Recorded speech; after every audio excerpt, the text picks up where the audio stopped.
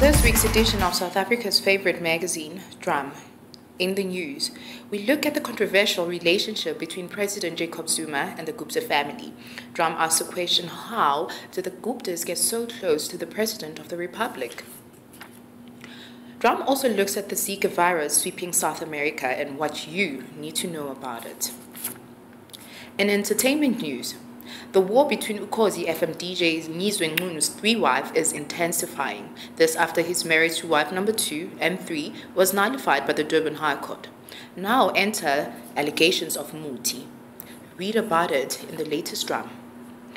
Just days after news of an abortion scandal between him and his on-off girlfriend Nonkululeko, dramas learned that former Generation star Anga Makubalo has a one-month-old baby girl with girlfriend Rosaline. Has a notorious ladies' man bitten off more than he can chew? You be the judge. We also want to save, especially through these tough economic times. Drum shows you how you can trim your grocery budget and save. Be in the know. Get your hands on the latest drum magazine for only 19 Rand 15. And the beat goes on.